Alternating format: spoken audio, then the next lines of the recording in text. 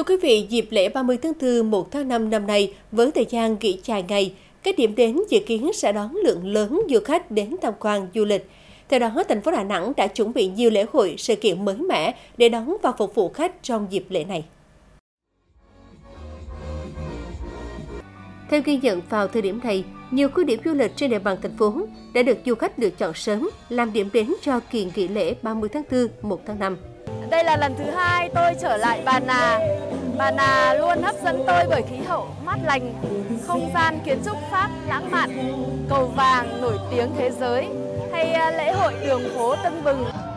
Nhiều chuỗi sự kiện quy mô với nhiều nét khác nhau độc đáo trên địa bàn thành phố cũng đã được các đơn vị chuẩn bị nhằm gia tăng trải nghiệm cho du khách. Tại khu du lịch Singer Bà Nà Hill,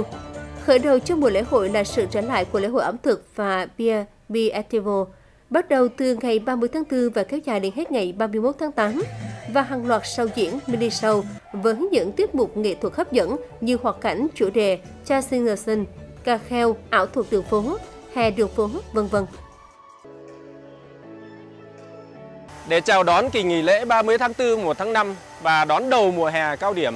của ngành du lịch thì chúng tôi đã và đang chuẩn bị kỳ lưỡng để tung ra nhiều sản phẩm du lịch. Bên cạnh đó cũng ờ, thường xuyên phủ áo mới cho các sản phẩm hiện có. À, từ đó chúng tôi cũng kỳ vọng sẽ lượng à, du khách, đặc biệt là khách quốc tế đến với Bà Nà sẽ được phục hồi nhanh và cắn mốc à, năm 2019. Bên cạnh đó, có nhiều hoạt động sôi nổi sẽ diễn ra vào dịp lễ, khuấy động không khí du lịch của thành phố. Như công viên châu Á Asia Park sẽ tổ chức chuỗi sự kiện nghệ thuật Wow Summer từ ngày 29 tháng 4 đến ngày 2 tháng 5. Chương trình trải nghiệm bay trên khinh khí cầu vào hai khung giờ từ 6 giờ cho đến 9 giờ và từ 17 giờ cho đến 21 giờ trong ngày 30 tháng 4. Đêm cùng ngày sẽ diễn ra đại nhạc hội âm nhạc các nước châu Á.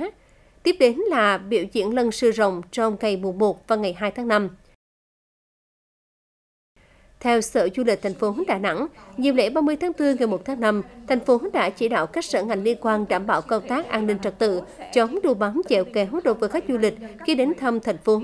Vừa qua, Đà Nẵng đã triển khai chương trình kích cầu du lịch tận hưởng Đà Nẵng 2023, Enjoy Đà Nẵng 2023 dành cho du khách trong dịp lễ và dịp hè. Không chỉ có hoạt động lễ hội, sự kiện đặc sắc như lễ hội khoa học quốc tế Đà Nẵng, chương trình khai trương mùa du lịch biển Đà Nẵng, liên quan phim châu Á Đà Nẵng, lễ hội tuyệt vời Đà Nẵng, lễ hội du lịch Quốc Đà Nẵng, mà còn nhiều sản phẩm dịch vụ vui chơi giải trí ngày và đêm tại các khu điểm du lịch, có hoạt động hai bên bờ sông Hằng, phố du lịch An Thượng, chợ đêm Sơn Trà, Helio và các sản phẩm du lịch mới sẽ được liên tục tổ chức cùng hơn 10.000 voucher hấp dẫn. Ờ, hiện nay thì chúng tôi ờ, ờ, cũng đã phối hợp cùng với Hiệp hội Du lịch để nắm các cái thông tin đăng ký tới tham quan du lịch của thành phố Đà Nẵng và các cái cơ sở hạ tầng ờ, về lưu trú cũng như là các cái dịch vụ thì cũng đã sẵn sàng để chào đón du khách tới thăm thành phố.